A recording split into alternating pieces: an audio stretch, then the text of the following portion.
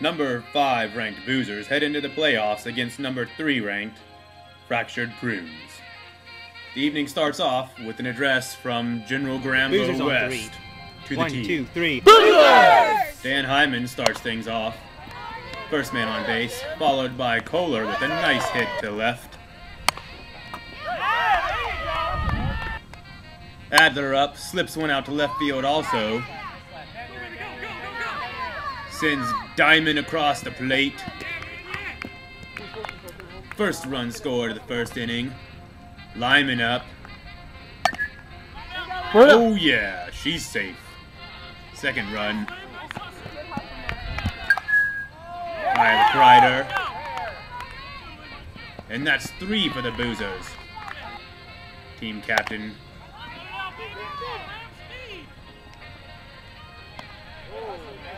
And that's another run across the plate. Boozers go out to the field with a 4-0 lead. Yeah. Adler with a nice out to first. Oh, Cat almost turns it around to third.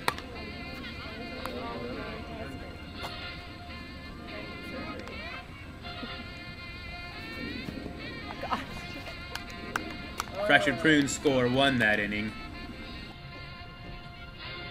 Szynski at the plate. Nice hit. Makes it on to first.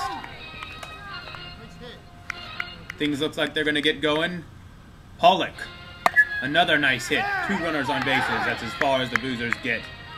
And it's still 3-1 Boozers. Nice out by my man Stanko Nice one.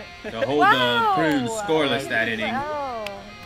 Backed up with nice outs by Kreider. Nice job. Nice play, Kreider Peter connection. Nice play, nice play. Awesome. Top four. Adler up first. And he makes it to first. Lyman. Nice hit. Nice. Runners on first and second.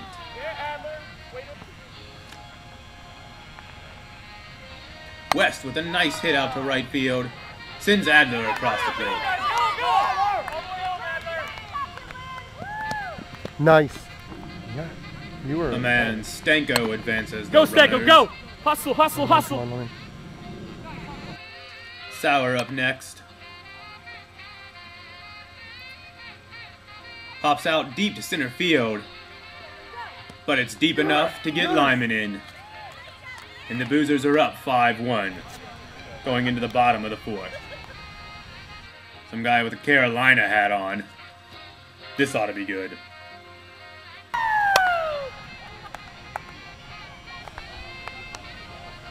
Oh! Diamond doesn't like the UNC colors. And the Fractured Prunes take their third out by hitting the pitcher that inning. Boozers start things off in the top of the sixth.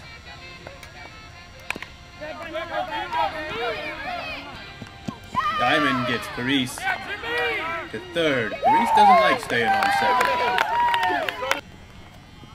Kohler with a nice hit. Advances the runners and sends Paris across the plate.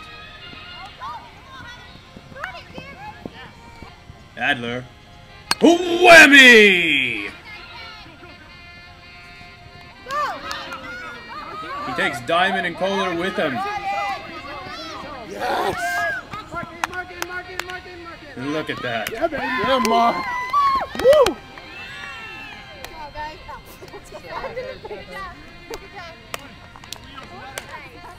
And it's 9 to 1 Boozers. I am tired. Careful there, old man. Sounding like West out there on the field. Bottom of the sixth. Running out of time. Oh, Boozers hold the prunes zero runs. 7:22, past game time. 720. Prunes want to play another inning. Boozers captain talks to the Sex Panthers and, with their consent, graciously decides to accept the Prunes' request for a seventh inning. Oh, Mickey. Oh, he did it. Sauer. Yeah! Man, that's a triple. Yeah! Bam. And she gets Sauer across the plate. Chalk one more up for the Boozer, That's 10-1.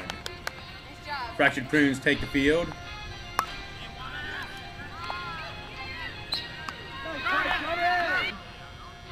There's a second out. And, oh, oh! Whoa, whoa. Oh, oh my God. Yeah, can't do that, ladies. That's the third out of the game. Despite Fractured Prune's objections, Boozers advance. And head to East to watch their other chemistry teams compete in the lower bracket. And we live here, so that's not a big deal. Yeah, winner's bracket.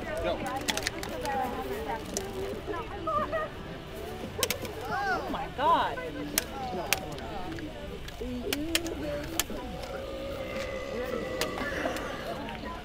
I was ready for that. Uh, Scotty, can you get anyone out there for us?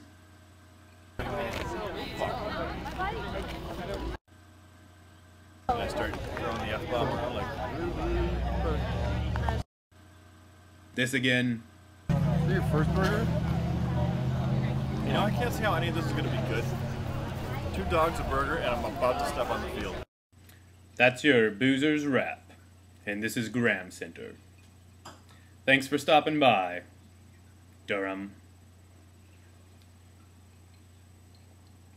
The reason why we won tonight, you know why? Because Evil Ballant wasn't there. Wait, I know why. And we were allowed to have our beers on the field, and that is our mojo. Do you read that? Mojo. The foamy, frothy deliciousness that is beer. We won tonight. We're going to win tomorrow. We're going to win Thursday, and we're going to win it all this year.